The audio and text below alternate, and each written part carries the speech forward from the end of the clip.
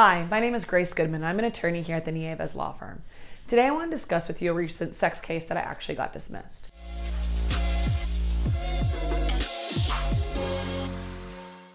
A client and I actually went all the way to the day before trial on this before the Alameda District Attorney's Office agreed to dismiss this case of all charges.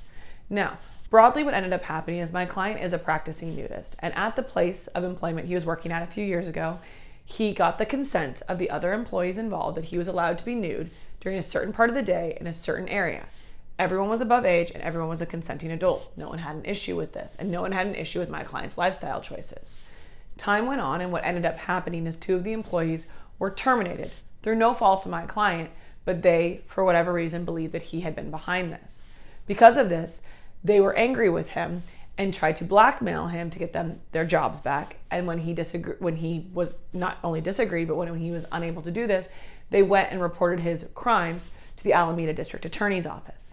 Now, what I was able to do with the help of the rest of the team at the Nieves Law Firm is we were able to get my client to show us all of the text messages between him and these two people that were blackmailing him. And then, with the help of the other employees at the office, they were able to show us their communications with uh, the two people that were blackmailing him and them, showing that none of this ended up adding up. We worked together with the district attorney's office to show that this was our theory of the case.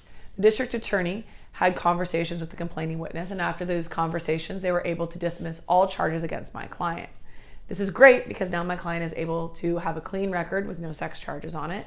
Uh, with the charges that he was going to be charged with, if he was found guilty, that would have required sex registration. So now he's not on the registry and he was able to just avoid a very public trial, which can be just very detrimental for people's mental health. If anything I just said to you rings any bells in your mind or your own situation, or you have a sex crime of your own that you would like to discuss with somebody, give us a call. We're happy to help.